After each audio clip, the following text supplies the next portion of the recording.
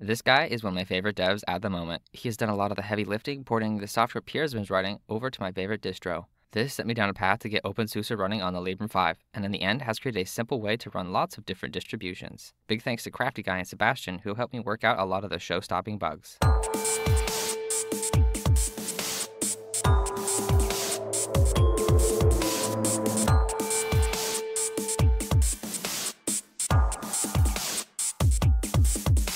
I didn't start this project to be able to run Arch or Debian or any other distribution other than SUSE, so I tried starting out with Kiwi, which is one of the most powerful distro building tools out there. But since setting up an ARM64 environment on OpenSUSE was proving harder than it should be, I went with a much more hackerish approach.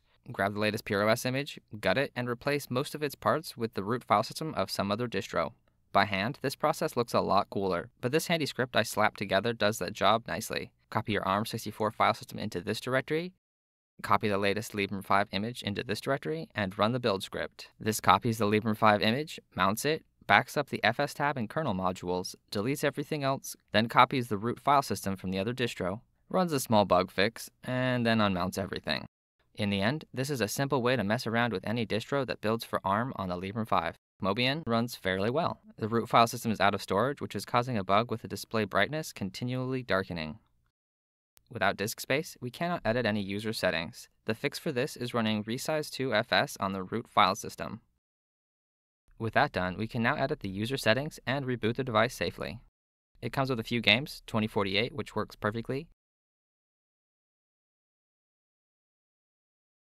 And you can also play a bit of chess. File seems to work very well, but the text is a bit hard to read at this scale. Firefox comes pre-configured to work out of the box on Wayland. This does a good job web browsing on this image. You can connect to 4G, but it seems like that might have some routing issues, preventing it from actually working right. Don't push the power button. If you do, the whole screen locks up and you have to reboot. Text messages work, and you can make phone calls, but the speaker and microphone don't work, so you can't say much past. The default lineup seems to work for the most part. All in all, not a bad image on the Librem 5. Arch Linux boots. I don't really know if this version came with a GUI or if that part's broken. I might play with this a bit on the dev kit to see if I can get some console access. Nemo also boots. It leaves you with this nice looking screen, but it is rather broken at the moment. OpenSUSE takes a minute or two to boot, but the OS works well. Wi-Fi is broken, but booting this on the dev kit gives you access to an RJ45 port which works out of the box. Just like Mobian, we have a lot of user settings to mess around with. The 4G connection dialog was not what I was expecting, and it didn't seem to work. The terminal font is a bit ugly, and the home directory is a bit bare.